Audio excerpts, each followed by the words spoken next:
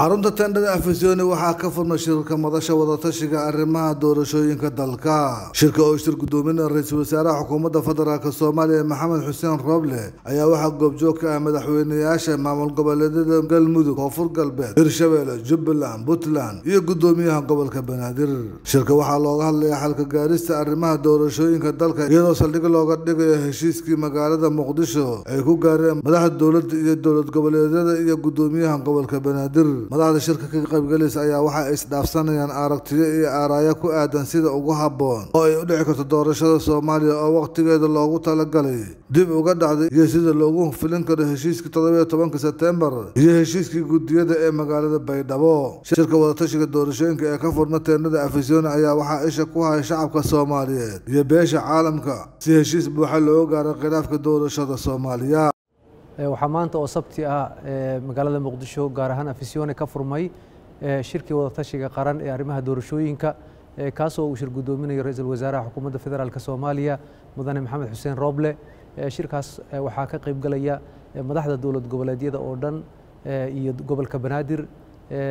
Waxaa ra'iisul wasaaraha xukuumadda federaalk soomaaliya uu uga mahad celiyey madaxda inay soo ajiibeen codsigii iyo ka qaybgalkii casumaadaha ee u diray waxaana hadda shirku u socdaa maaragtay si habsamila madaxdu way wada hadlayaan. Insha allah haddii abaidmana wax alla wixii ku saabsan shirkaasi ka soo kordha marka ay soo baxaan baa idinla wadaagi doonaa.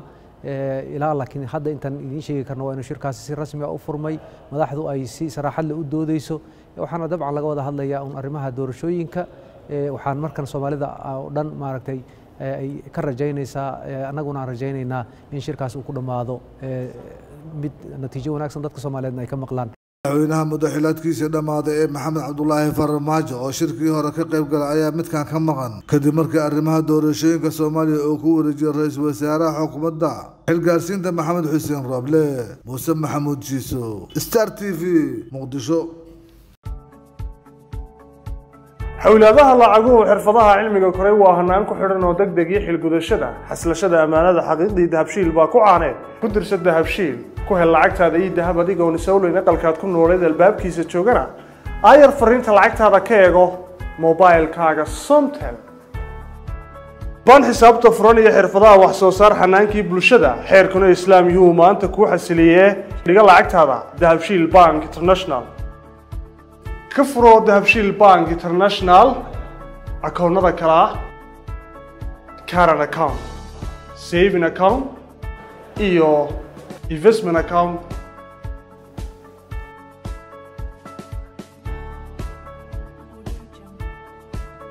Ku xidho akoonkaaga dahabshiil bank international adeega casriga ee edahab.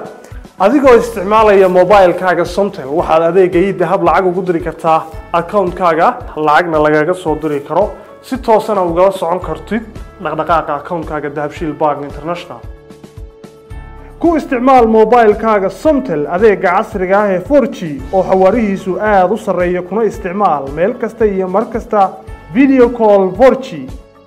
Ku isticmaal simikaadhkaaga somtel adeega casriga ah ee ila soo hadalo waddamada adduunka qaraabadaada iyo asxaabtaadu ay kugula soo hadli karaan cod saafi ah iyo weliba qiimo aada u jaban. Ku xidhnow shirkadaha xulkoodii dahabshiil group wixii aad lacag dhiganayso iyo wixii aad lacag diraysaba ballanteennu waa dahabshiil dahabshiil group